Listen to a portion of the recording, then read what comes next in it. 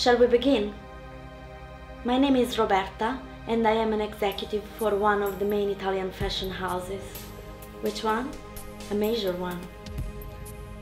This is how the Made in Italy image is presented. Made in Italy has always been synonymous with luxury and quality. Our products are made by the best Italian craftsmen in order to take the beauty of Italy all over the world. The percentage of work which is done by Italian craftsmen I think that for most companies it doesn't exceed 10%. So if mathematics is not an opinion, this means that 90% is done abroad. Now we could ask, if only 10% of the work is done in Italy, why is 100% sold as made in Italy? That's easy to explain. Italian law says that a product which is work done in Italy can be marked made in Italy. Therefore, a small amount of work is enough, sewing on the buttons and labels, for example. So a product which is made in China magically becomes a product made in Italy. And it is all done absolutely legally. Isn't that great? You have goods manufactured in China, you brand it as Italian, and then you sell it to rich Chinese people. I'm late. I couldn't find a place to park. And you have no idea what taxis cost in Milan. Th that's why I don't have a car. I love having someone pay for a taxi for me. My name is Sofia and I am an Italian student.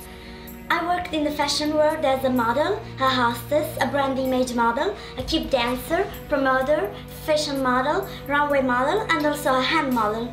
And many people do not know what a hand model is. It's a model with nice hands. Look how beautiful they are. Well, I said I worked in the past tense because I gave it up. You make very, very little money. There's too much competition from Eastern Europe. But above all, you make very little and work a lot. Have you ever tried standing still for two hours? It's atrocious. I wouldn't wish it on anyone. Doing something else is better. So now I use fashion only as a form of promotion. I still do fashion shows and photo shoots for some magazines. I don't do it for money. I do it because men like to have models around them. Stylists promote their clothes and I promote myself. But there's too much competition. And like they teach us in economics, which I pass with full marks, prices are decided by the law of supply and demand. By the way, tell how cultured I am to those envious classmates of mine who think that my grades are only because of my friendships with the professor. I always wanted to be a journalist. I don't know why. Maybe it's just a way not to have to look for a real job. Fashion has always interested me, so I thought that being a journalist in the fashion sector would be a great idea. I didn't have any particular utopian ideas. I didn't come from a fairy tale world. But I certainly never thought that the industry was so rotten. I started working in an editorial office for a magazine in Milan. No, I won't say the name. My father was friends with one of the editors. In Italy, it is common practice to get a job because of who you know. They began to work, I thought I had to report what happened, explain why it happened, express an opinion, inform the readers you know, the famous what, where, why, and the other two W's that, that I can't remember right now. But I quickly realized that what I had to do. In reality, we are there to do promotions. Our job consists in promoting certain brands. Those brands, the brands that advertise in the magazine. The policy is quite simple. A certain stylist takes out 10 pages of ads and we write 10 articles. Another takes out two and we write two articles. If you don't have the money to buy advertising space, we don't talk about you. This is not being a journalist, it's whoring.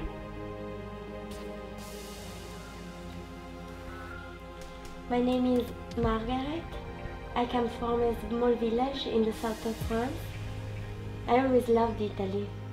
I saw it as a rich country with style, culture. I always loved fashion. I wanted to model these beautiful Italian dresses. Then I came here and discovered that it is not as it seems. For example, it's impossible to support yourself as a model. You make very, very little money. When they pay you, when you manage to find somebody professional among the dozens of false offers. For example, the fashion agencies, many of them are swindlers. It's not just a saying, that's exactly what they are, born to swindle people. I'll tell you what happened to me. An agency offered to do my photo portfolio, a runway work course, and they promised that I would work with the best stylists. Then they asked me for 9,000 euros. 9,000 euros that I paid in advance. I feel so stupid. It was practically everything I had saved to live here in Italy. They received me in this big office in a nice building in the center of Milan. What happened is that they took the money, they took a few mediocre photographs. They should inquire. If the consumer thinks that inquiring is a waste of time, why should we bother him with information he doesn't care about? Corporations don't like to annoy their customers. The customer is always right. So if the customer thinks that a made in Italy product is made painstakingly by a skilled old Florentine craftsman in a little shop near Ponte Vecchio, perhaps in some room that Leonardo da Vinci once used to paint the Mona Lisa, who are we to dash his dreams? We are not cruel people. It would be like telling a child that Santa Claus was invented by Coca-Cola.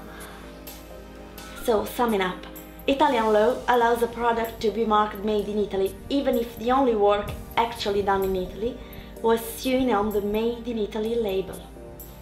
You pay me 10 times and I satisfy you 10 times. If you don't pay me, sorry honey, we're working here. I also enjoy it going to fashion shows. You drink champagne, you eat canapé. We looked at the clothes but never had to judge them. You couldn't formulate an opinion. Your opinion was the one that arrived with the, with the press folder that was handed to you. If it weren't for the champagne and the canopy, many journalists would spare the effort of going to the shows and would simply copy what was written in the press folder. The funniest thing is that people bought this magazine believing they were receiving information. What information? Well, models aren't paid very much because most of them would do it for free anyway. They love to model in beautiful Italian clothes. but like I said, being a model in Italy is only good for self-promotion. Now I'm a club image model. The more well-known the girl is, the better she's paid. Paid for providing a good image. are you curious to know what it means to provide a good image? Well, there are a lot of parties around that important men attend, often not very young men. Some may say they're old, but no, old is such an ugly word. They are non-young. And these non-young men obviously like to have young girls around them. They're tired of their non-young wives. So what do we do? We, we dance, laugh, say funny things, liven up the party. You have to be sociable and funny. How much are we paid?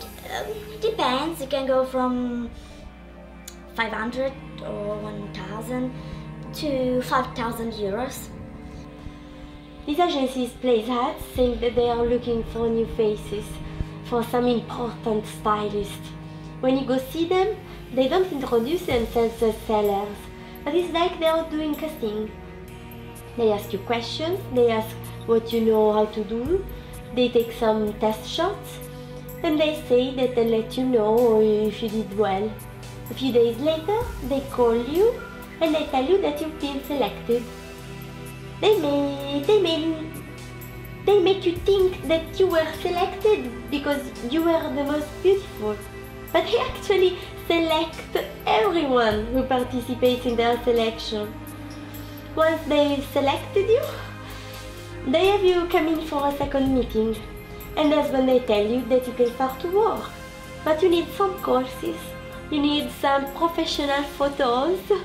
You need this and that. And these are all things that they sell. The article on this year's collection can be copied from last year's, which were paraphrased from the year before that. They always say the same things. Such and such stylist reinvents the does and so style. A majestic use of such and such color. This year women will be dressing in this fashion. And they always use ridiculous headlines like Ebony and Ivory or uh, Fall Winter Tours, Mrs. Crocodile, Signs of the Times, Short is fun. But let's go back to the 10% that is done in Italy. This is often done by Chinese with factories in Italy. Incredible, isn't it? The Chinese are really quite splendid people. Not only do they manufacture for us, but they even moved to Italy to make the work easier. The Chinese have opened many factories in Italy. Their prices are much more um, competitive than the Italians. Many ask how this is possible. The answer is actually quite simple. In Italy, a laborer is very expensive. There are a lot of labor taxes, social security contributions at the company's expense, several indemnity funds, accident insurance policies, a ton of pointless expenses. For a Chinese person, everything is easier. He takes his countrymen, has them sleep in a warehouse, has them work 12 hours a day, and pays them what he would pay them in China. He doesn't pay taxes, contributions, insurance. If an Italian tries to do that and he is discovered, he would go to prison. A Chinese person, on the other hand, simply closes and reopens somewhere else under another name. At the worst, he goes back to China, and who's going to go looking for him in China? In this way, they become very competitive. Naturally, we don't know any of this officially. Yeah, 5,000 euros to laugh, dance, liven up the party. It might sound like a lot of money, but it's a job not everybody can do. First, you have to be good looking. Let's say, very cute. And you have to be sociable. You have to know how to play along. You can be a person who gets shocked easily. That's very important. Never get shocked. You must be a positive person. Think positive. Who likes negative people?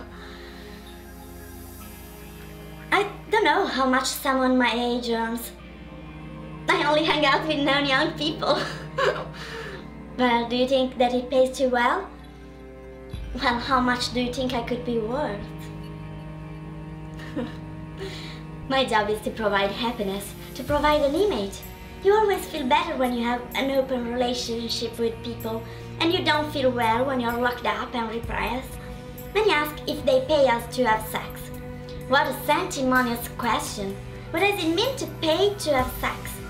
You're at a party, you're having fun, and maybe something happens and it's all normal, but nobody forces you. If the person you had a good time with wants to give you a gift, that's normal too. Obviously, for the photos and the courses, you can take them down by someone else. You have to do it with them. And at this point, you have to pay. Then you'll take a, a quick course, some mediocre photos, and maybe they'll send you to do some casting with another 200 girls. I've learned a lot of things from Italy, but none of it is nice. They seem like the titles of novels, but they are little 20 line articles written to fill space between one advertisement and another. Our fashion magazine never dreamed of even a single investigation into the fashion sector wondering how these clothes are manufactured, why are they branded Turkey, or why are they produced in China and branded made in Italy? No. It is something the reader has to find interesting. Nor do we know that these Chinese companies put Italian companies out of business, which have been working for our fashion houses for 50 years. But we can't make ourselves responsible for them I could say that we have to make a profit at any cost. But in reality, the expression at any cost doesn't sound very nice. It sounds mafioso. I prefer to say Greed is good, greed is right, greed works. Shall we talk about quality? These products are made with third world labor and therefore at a very low cost, but they continue to be sold at the same prices as when they were made in Italy. This guarantees enormous profits for us. How is that possible? Because the price is not connected to the product, it's connected to the brand. That's what fashion is image. The fact that the price of the fabric on which we apply our brand is made in Italy or in some remote region of China by children chained to a workbench makes no difference to the person buying it, so it shouldn't make a difference to the seller. How can you think that companies have a social conscience which is greater than that of the consumer? The consumer wants to buy clothes made in the third world, and the company should say, no, bad consumer, you have to buy them stitched by the tailor around the corner from your house. After I was swindled, I tried to contact people directly for work. I answered ads on the internet. Usually I ended up in closet offices with people who said they worked for great stylists, but they didn't look like. Sometimes I was even afraid that that I'd be that I'd be raped. but no, maybe maybe I, I'm just too emotional. If the person you had fun with prefers you over another, that's normal. Everybody likes to be with fun people. Do you know anybody who wants to spend time with people they don't like? I certainly don't. But wait, stop. No, maybe it's better if I don't talk about these things. Would I cut out whatever I don't like later? Promise? Okay, give me a minute. Does that seem realistic to you? As long as the law allows us to, it would be absurd not to do it. And even if it didn't allow it, when the president does it, that means that it is not illegal, by definition. I'm just kidding, edit that part out, please. I'd like to talk about another issue. Fashion shows have always been associated with fashion houses. Many girls come to Italy from all over the world to work as models, but they end up working just a few days for very little money. The funniest thing about it is that in reality nobody is worried about it. It isn't our problem. We don't make anyone come to Italy. If a lot of girls decide to show up and crowd the agency, the supply is greater than the demand, so the prices drop.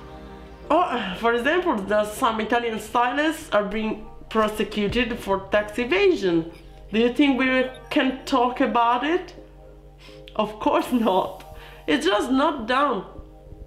Can we talk about the poor quality of something one of our advertisers manufactures? Again, no. okay, let's go on. Uh, let's change the subject. yeah, let me tell you where the models go on holiday. Many go to Sardinia because it's full of parties. It's always the same, either in a villa or on a boat or in a club. There are very rich people, usually people who like to spend you dance, you drink, you smoke. If you want, you can do coke. If you don't want, you don't. I dance, drink, I don't smoke. And every once in a while I... and I love clubs where there is live music.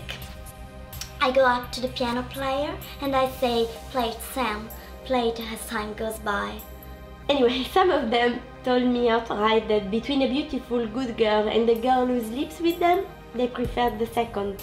They say that's the way it's done in Italy, from the days of Sophia Loren. I don't think their intention was to pay me a compliment. But not having any more money and struggling to pay the rent, I worked as a waitress in various fashionable night spots in Milan. But I changed jobs several times because after a while the owner wanted me to be nice to him or, or with his customers. The first rule of a fashion magazine is don't speak poorly of the advertisers. The second rule of a fashion magazine is never speak poorly of the advertisers. We're not journalists, we're promoters. We make advertising spots which masquerade as journalistic articles. This way, Milan is full of beautiful, hungry girls. How did Steve Jobs put it? Stay hungry, stay foolish. Italy is full of hungry and foolish girls that can do anything, and we certainly don't stop them from doing anything. Do you know what these girls during, do during the rest of the year while they are waiting to participate in some show? During the year there are a few weeks of shows, so a couple of weeks of work, and for the rest of the time, do you think they work as cleaning ladies?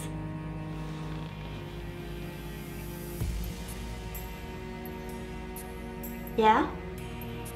I'm in an interview.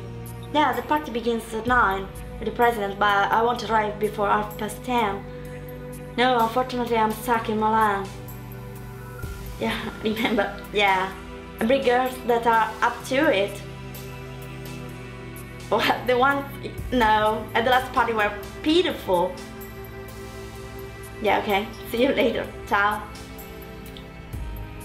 Sorry, I haven't switched it off. Well, this is another thing that models do when they are working. They attend parties. do you think that parties aren't work? They are for them. Everybody feels richer, and if you show up on a boat, you can't be a barbone. Well, you probably don't know what a barbone is. In Italian it means a homeless person, but we use it to mean a stingy person, someone who won't pay to surround himself with nice things. So it's even easier to earn, and as a bonus, you're not in the cold and foggy Milan. I like talking to you. I think this is the beginning of a beautiful friendship. In Italy, nobody protects you. You always walk in black, as they say here, off the books. In other words, without a contract. That's so you don't pay taxes. Italy is much different than the image I had of it. Unfortunately, I discovered it late. A friend of mine proposed that we go to parties and have sex with rich old pigs. She said you make a lot of money and then the younger you are, the more they pay you. But I didn't come to Italy to be a whore. Sooner or later, I will have to find something else to do. I won't spend my life filling pages up with bullshit. This is what I thought when I began. Now I've developed a taste for it. I'll die filling pages with bullshit. I will sacrifice myself for the good of Italian fashion. What's the difference between this and normal prostitution? Are you kidding? Prostitutes are dirty and they walk the streets. They haggle on the price. What do they have to do with us? Prostitutes are black, dirty, and on street corners. We don't prostitute ourselves. At the very most, we are kept. And it's quite different. Okay, we are done. It was fun. What are you going to do later? Because we could do you think that parties aren't work? They are for them. The parties are work. You meet people, you make friends. In order to stay on the scene, you have to be on the scene. Some say that at these parties the girls are paid to have sex, but that isn't exactly accurate. A lot of times they aren't even paid. They get promises. Promises as payment. It's a lot like politics. They screw you making you promises. You may think that this isn't legal, but as I said before, when a president does it, that means that it is not illegal by definition. Now we go back to France, back home. You know what I think of Italy? Italy is shit.